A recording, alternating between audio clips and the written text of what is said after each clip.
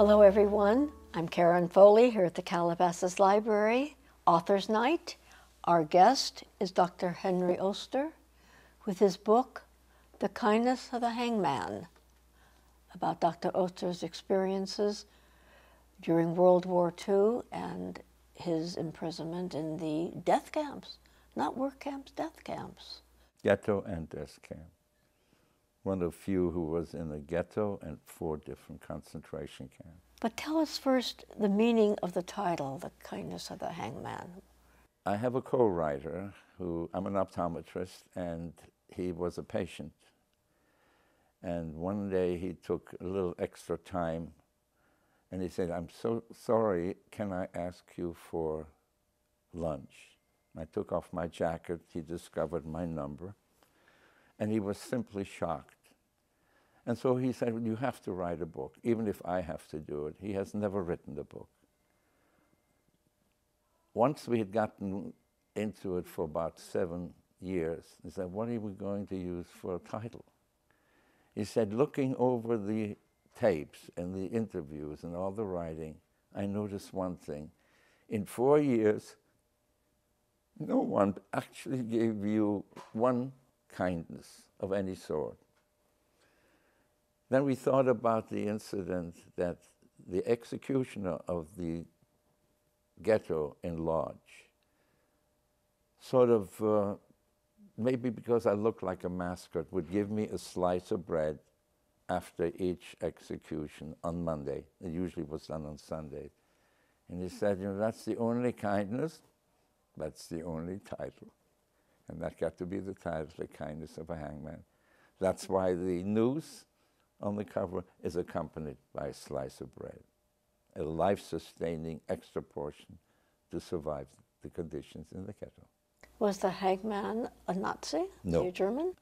These were two brothers, coincidentally, which always seemed to me, they could almost, by our standard, be professional football players. They were not skeletal, emaciated. They received extra food for the job of execution every Sunday, and it was just native-born people in Lodz. The ghetto was in Lodz, the second largest ghetto after Warsaw.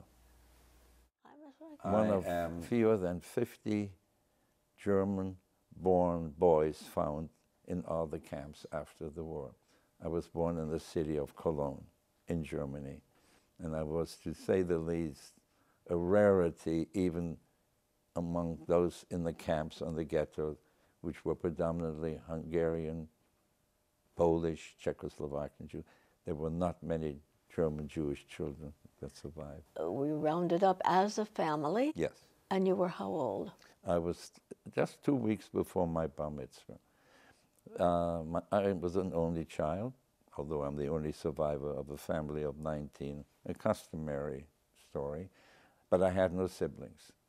And we were called, uh, rounded up is the proper word, and sent to Poland. What camp? That was the ghetto. The first The one was to the the ghetto, ghetto. in Lodz. How long were you in the ghetto? I was there three years. Three years. And uh, What year was that? That was from 1941 to 1944.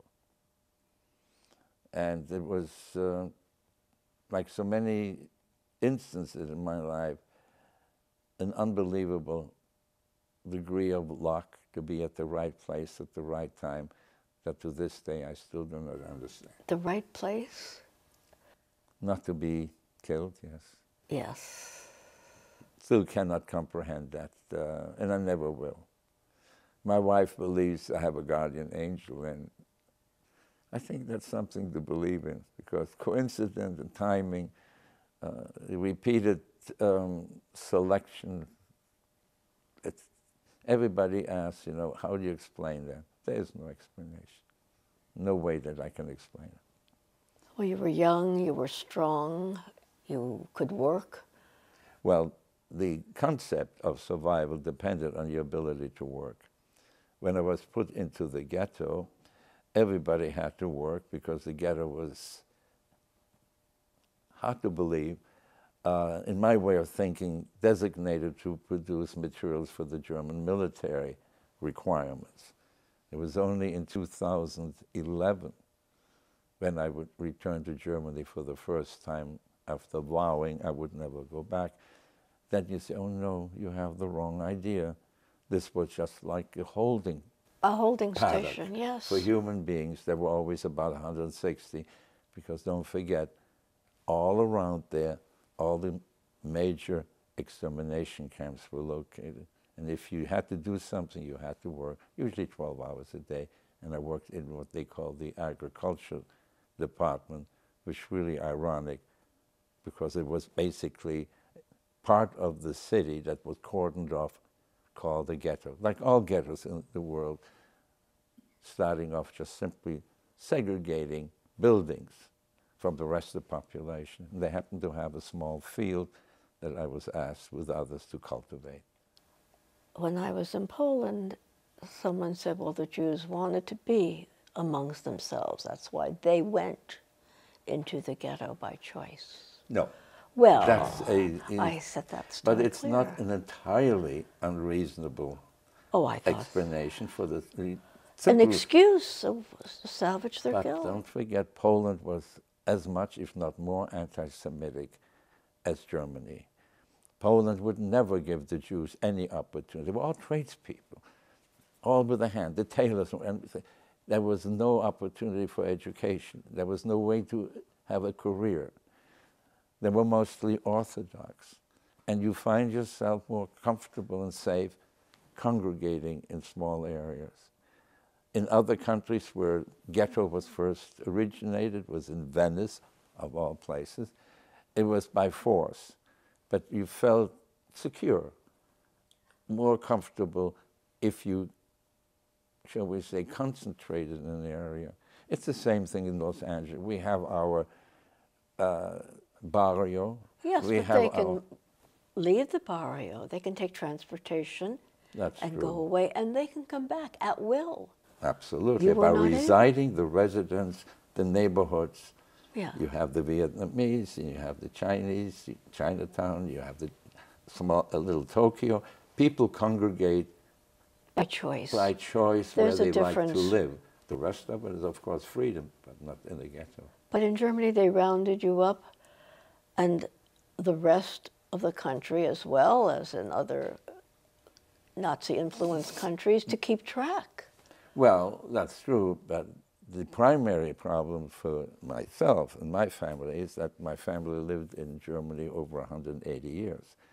And you live just completely free and, and independent of anybody else. I did not have Jewish neighborhoods, not at all. They knew where you lived, and of course, when it came to send you out, you would be arrested overnight, always in darkness of night, and simply sent out. I never heard from. him. No, I, uh, as I had mentioned before, I had vowed after the liberation never to set foot on German soil. I went to France, placed in an orphanage with the intention of going to Palestine, now Israel, on the very famous ship called the Exodus. But then in 1938, uh, miraculously, my mother's brother, my uncle, was able to leave Germany as one of the very few to leave that late, came to Los Angeles, and they found my name in the newspaper. The whole idea of uh, coming here was by the rare ability to leave Germany as late as 1938. But you had absolutely very little chance any other way, so we were stuck in Germany. Now, when your family was incarcerated after the ghetto, did you go as a family to a particular camp or were you split up? My father perished of starvation in the ghetto. My mother uh, survived by making iron plates that went under the boots of German uh, armies. I, as I said, was working in the agriculture department, ability to steal food and help my mother and me to survive. And then in 1944, we were again trapped and sent to Auschwitz. You went, that was your first incarceration as in Auschwitz? Well, the ghetto was. The get- I mean, after the ghetto. Well, uh, the actual concentration camp, the arrival, the name of the arrival facility was Birkenau. That was the reception committee where people were uh, separated and sorted out for to die or to live. I was then housed there for several weeks by a again one of those incredible sheer timing of fate was it formed that they were looking for juvenile under 15 to 17 years of age. There were not even 200 in the whole camp of Birkenau. Stupidly enough at the time, but ingeniously as it happened, I not only ran for this selection, but raised my hand and say, I speak German, I speak German. And I was taken with 131 other boys of similar age to be put to work raising horses. Is it true that most of the people in the camps did not speak German? I was a pariah among my own Because- friends, and I had to learn Yiddish as quickly as possible, with German Jews don't speak Yiddish, in order to, quote, assimilate myself, linguistically at least, to be at least accepted somewhat. We always had a nickname called Yekke, which is a derogatory Yiddish word for Jews. And those 131 boys were actually then sent to the actual concentration camp of Auschwitz, which was a facility not for killing, but also not for survival, approximately two miles away. So it was from the ghetto, Birkenau, Auschwitz, and then later on a, a satellite camp, followed by a trip to Buchenwald, and I was back in Germany, just what I needed. We will come back to you in just a moment after we take a break. Stay with us, please.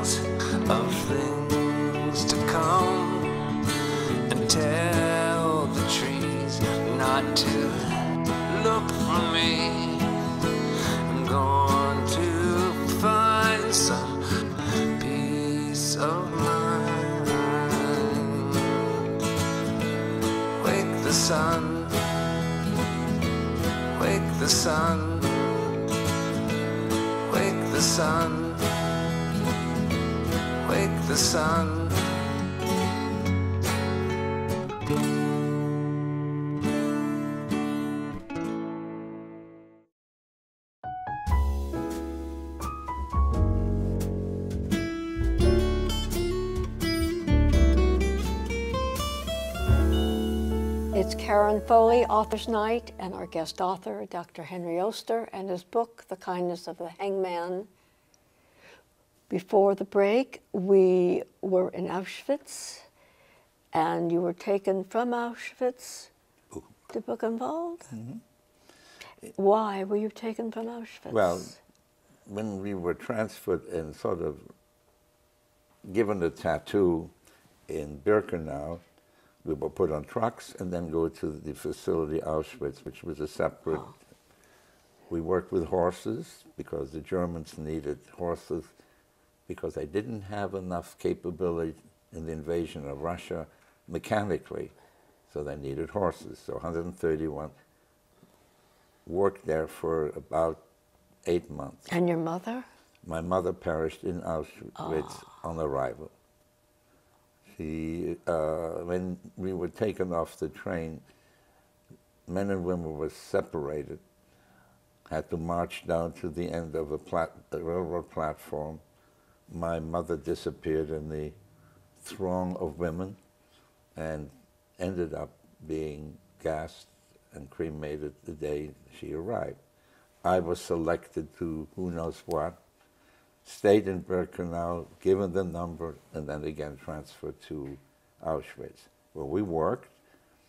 Auschwitz was being liberated in 1945 by the Russian army, and the Germans decided to empty Auschwitz Birkenau by leaving, hopefully, no evidence.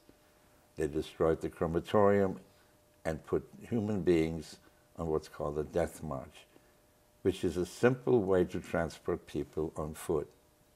You march in a column, the roads were littered with those that couldn't keep up, and the way that a death march works, is threaten and act out. If you are separated from the column by a certain distance, you'll simply be executed, and people just couldn't make it. You march very quickly if you have the strength, and you don't actually hesitate for any moment because that would be a sign of weakness and would be followed by execution. From there, we were put on the train, densely packed, an open livestock car. The train proceeded to leave Auschwitz. We were unfortunately misidentified, or what we now call friendly fire, and we were attacked by two Allied fighter planes. That attack caused much human loss in the wagons. I was lucky enough not to be in the trajectory, but I had enough time to look at the plane's insignia, and I was only familiar with Germans, and these had Allied insignias. Believe it or not, from 1941 to 1945, I had no idea that Europe had been invaded. We had no idea what was going on. And we certainly had no idea that there were Allied troops approaching the camp. The train took off. The destination back into Germany. The attack took place because to the fighter pilot, the open vehicles, the open cars, showing all these people with a uniform, even though they're blue and white stripes, they assumed we were Germans. The train rode for several days, and we arrived in a place we were unloaded, uncomfortably, almost impossibly, and we were greeted, welcome to Buchenwald. And that's how I know I was back in Germany. I stayed there till April 1945, when on the 1st of April, we sensed a strange calm, if you could say. This background noise was missing. We couldn't explain it. The one thing we were all aware of, we didn't receive any food. It was minimal anyway. Slice of bread and a cup or bowl of non-nutritional soup. We did not receive food for 10 days.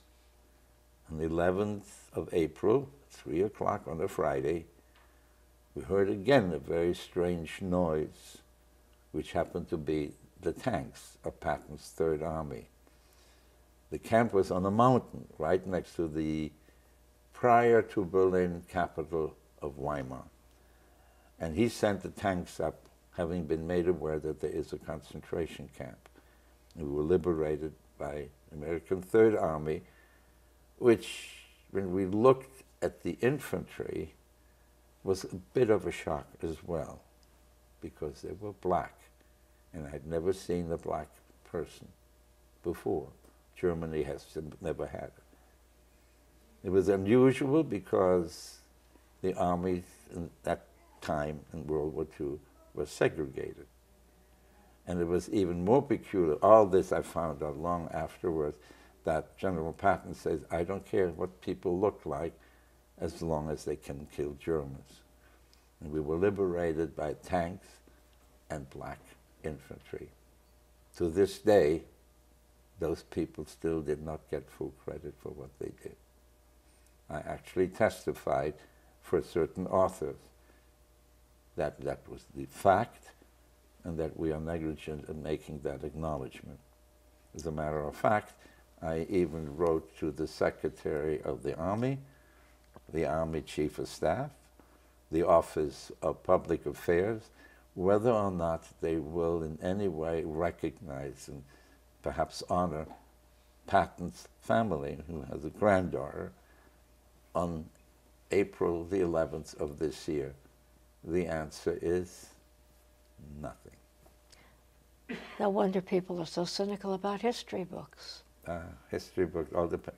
As always, one important thing: history books are usually written by the victor. That's an And that is expression I always remember a well. slanted point of view.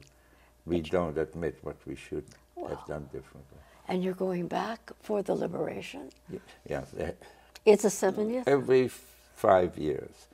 The, the I first time I went back to Germany when I was discovered to exist, I was told by the city of Cologne that I am with a lady in Palo Alto who unfortunately just passed away, are the only two survivors of 2011 people from the city of Cologne. Having sworn never to set foot on German soil, I consulted with my family, and the decision was that it's going to be up to me how I feel. And uh, I decided to go. And when people say, Why did you decide to go? I had th- said I only have one reason, and it was an obscene gesture with my middle finger. That's why I wanted to, I had to have my say and see what would happen. The main reason I was motivated was that in Germany, the major cities have a brass plaque in front of every residence The stumbling stone. the stumbling stone. And as far as I was concerned, it is as close to uh, a gravesite. Since As my, you'll ever see. and it was that was emotional. I, I went to the old address and I saw that, and uh, I guess that was enough reason for me to go. The other niceties the city did uh, ask me, the mayor and the civic leaders greeted us, and I was allowed to reply. I mentioned, and it's at the end of my book, that I didn't come for revenge. I don't come with hatred. I came to honor my parents, six million Jews, one and a half of which were children, and for that matter, all the other victims of World War II. And I also mentioned to them that uh, I don't hold uh, a grudge or hatred, but I didn't come here for vacation. I didn't want to find out what the city had done to rebuild itself. But I'm here to remind you that you are the children or the grandchildren of the perpetrators of World War II. And while you are not responsible, we won't forget, we can't forget, and most important, whatever you do, wherever you go, everybody will see you as a German accompanied by a shadow of guilt. And that was what I felt I needed to say. It was actually quite well received. But uh, every five years, they have a reunion in the concentration camps with fewer and fewer survivors. I inquired how many reservations have they had so far, responses. They said, well, we have everybody, you know, you will meet there, and we reserve that one hotel for all the survivors that are returning. So I Googled the hotel. It only has 90 rooms. So, one more reason, basically, to point out that the intent to kill 2,011 people from one city, hello, it still hasn't worked completely. My first contact with concentration camps, speaking of 70th anniversary, was on the day or the day after one of the camps, maybe Buchenwald, you said that had the most children, perhaps even Yes. Auschwitz, was liberated. and uh, they did a radio broadcast from the camp. Buchenwald. And I remember walking into my bedroom as a very young child. Very young. My memory started about two and a half years old due to an accident. So I had a very keen memory, very young. And they were liberating the children. And they would ask the children in uh, either German or Polish, I don't remember, because I was so young. There were only four spoke, that spoke They were German. then. asking, what, what do you think? How do you feel? And all they asked back, Where's my mother? Where's my father? Where's my family? Where am I? Who am I? But the search for parents was I was number one. transfixed. I don't even remember leaving the room. I don't remember the end of the broadcast.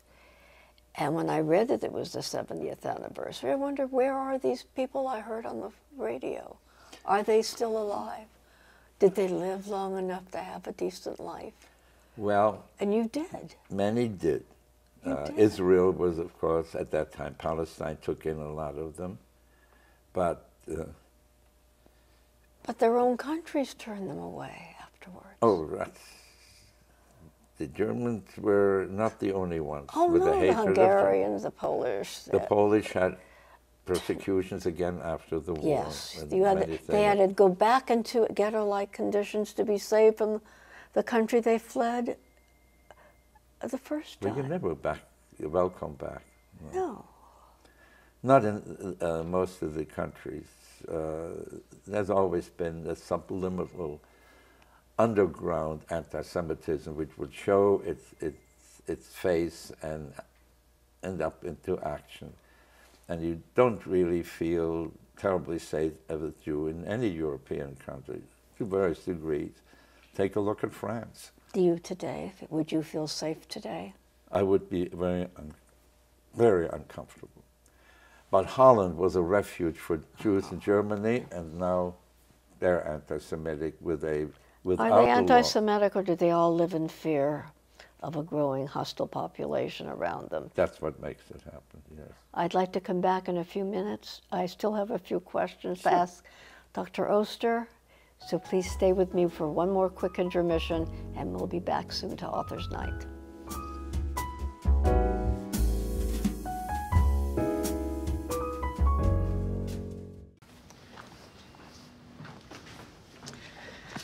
All right. I know this isn't any fun to talk about, but we should.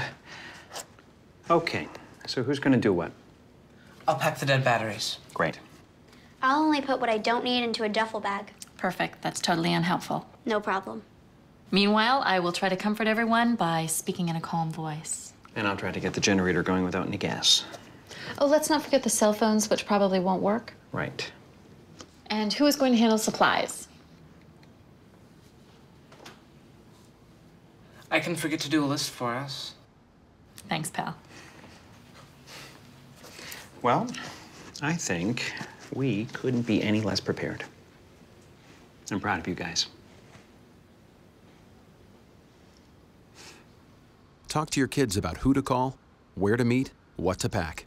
Visit ready.gov/kids for tips and information.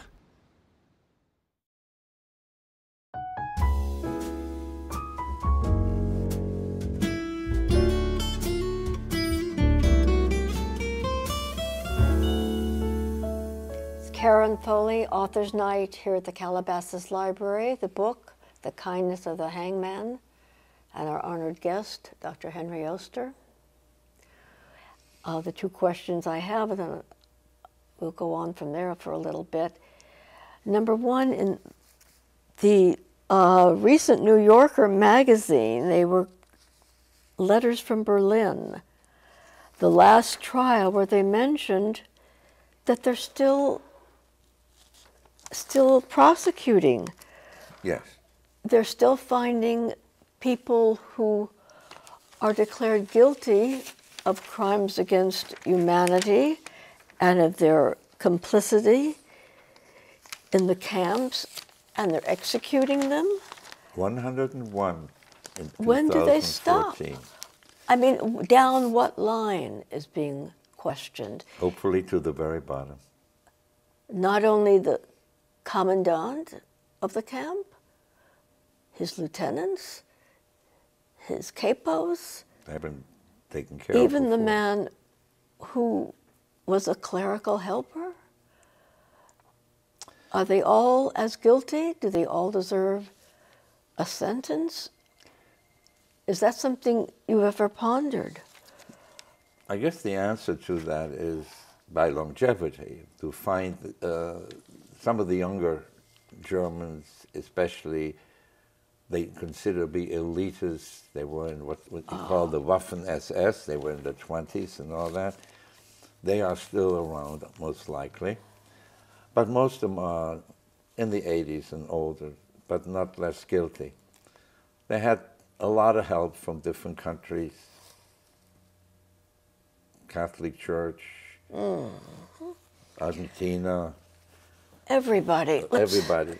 And Everybody. as a result of that, they they were basically infused into society, changed names, personalities, and all that, identities. And then when we recognized the subterfuge they had in our own country, we brought in Nazis for intelligence agents, the uh, space program, many different things. So it was not so difficult to hide in Germany. Simon Wiesenthal was, of course, the most famous pursuer and hunter of Nazis. Now that had obviously been taken over in the 70s by the Simon Wiesenthal Center here in Los Angeles, and of course New York, Jerusalem, and they are still very active and are basically to be credited with ferreting out the 101 that were prosecuted and sentenced in 2014. But that will still go on. There's still plenty of them around. Many of them were, of course, not necessarily military. They were not necessarily executioners. The ones, the higher ones, the commandants, and like Eichmann, that was easy to prove. But the little guys, the ones that really tried to show the heroic loyalty to the Nazis, the actual shooters and executors, who were, by the way, always saying, we were ordered to do that. But interestingly enough, there were ways to object. And it started with the physicians who gave lethal injections to inmates and in the hospitals with the feeble-minded when Germany was using the American invented concept of eugenics, they would not go on and continually give the injections. So the Germans say there must be a better way to eradicate them more efficiently, quicker. And that's when they developed first automobiles, uh, trucks, connecting the exhaust to the inside to make mobile gas chambers. That wasn't very practical. Then they went with a barn, too difficult to seal, and that was still in Germany before World War II started. But once they had foreign soil in Poland with three million Jews versus 600,000 in Germany and 400 some odd thousand in other countries, they built and erected the gas chambers and crematorium. And very efficiently through the uh, IBM machinery. Yes. Uh, many other companies. Many American companies, well, they didn't participate actively, but their foreign divisions, including, not so surprisingly, Ford Motor Company. Uh, Henry Ford was a viral, virulent Very anti-Semite, yes. and they supplied Lindbergh. Oh, Lindbergh was, uh, yes. But there are always connections that some people really don't want to acknowledge, and you never know where support comes from. Business is business, and um, the participation of Ford by the manufacture of Opel, and a lot of vehicles, a lot of tanks, even though they didn't profit from them. They couldn't get the money out. But these things exist, unfortunately, all over the world. Business interests are sometimes more important than human being interests. Money talks. Money does talk, yes. It's just, uh, I guess, part of history. Your previous guest had mentioned that every country, every people seem to have the ability to become what he mentioned the Japanese were and the Germans. And I always said maybe it's part of human beings' DNA or a country, I think every country has the seat of hatred, bigotry that can express itself in something like the Holocaust. And it's our job and responsibility as democratic and proper citizens not to fertilize these seeds, and you know what fertilizer we would use in conditions like that. It's unfortunate. We have to live with that. I don't think uh, genocide is exclusive to Germans. We are guilty of the genocide of American natives. We brought people from foreign countries by force and made them slaves. We had scares of the McCarthy era by just simply a slogan or something. People signed loyalty oaths, which didn't mean anything. If you're not, uh, if you're an enemy of the country, what's the signature going to mean? We have uh, rather what I thought of well-intended, committed many, many human lives to wars, Vietnam, Iraq, Afghanistan, that this is not a criminal intent, but it is supporting regimes that never, ever, ever will be democratic. It's greed, avarice, power hungry. It's a Man's DNA thing. to bully, to rule, to command. Yes. And unfortunately, power and force is respected by way of fear that people have. And the more powerful ones will win. I just, attend, I just had a controversy with the German consulate where a speech had been made by the vice consul that I found was demeaning and offensive. And uh, I requested and received a uh, interview, and all they did was tell me what they were told in 1985 when they claimed the Allies liberated Germany. And they said, You've got to be kidding. Liberated you from what? Well, that's what our foreign minister says. And I said, Well, Mr. Consul General and Vice Consul, I'm very surprised to hear diplomacy by being parrots.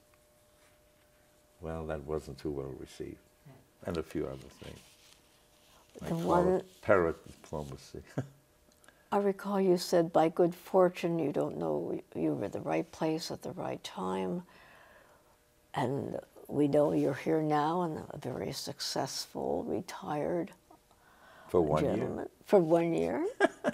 and the story of your journey to the United States is here in the book, which Yes. is be here in the library for our readers and our viewers to, That was to see and to read the story. Well, it's obviously, I'm very proud to. That's why I don't want to it. discuss. I want them to come and read the book because there's so much value in every word and every page.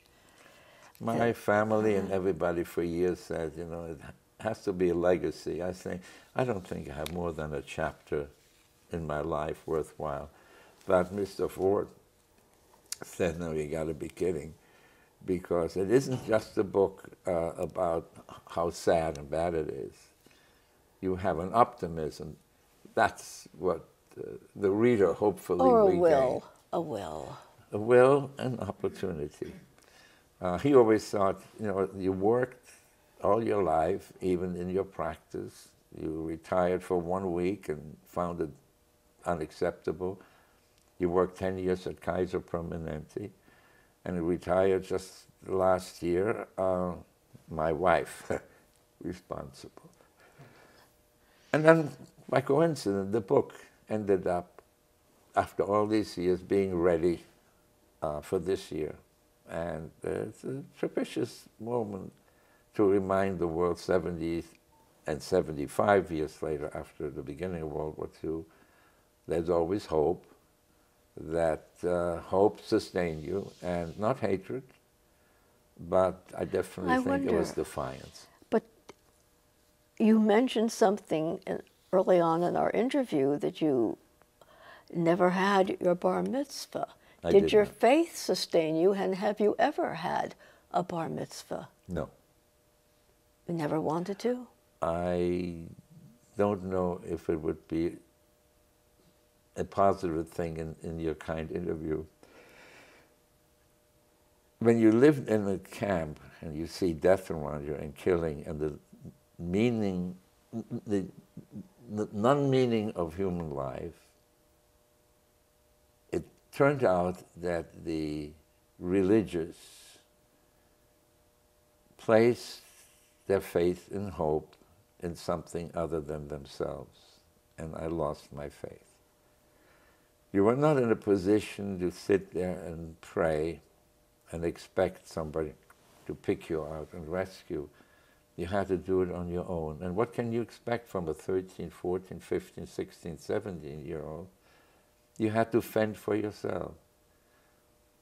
When I was asked only last week by a rabbi, it's never too late, I could not bring myself to become bar mitzvah, which is, as far as I'm concerned, a ritual important when you are living a normal, free life. But under my conditions, I don't think it would add much.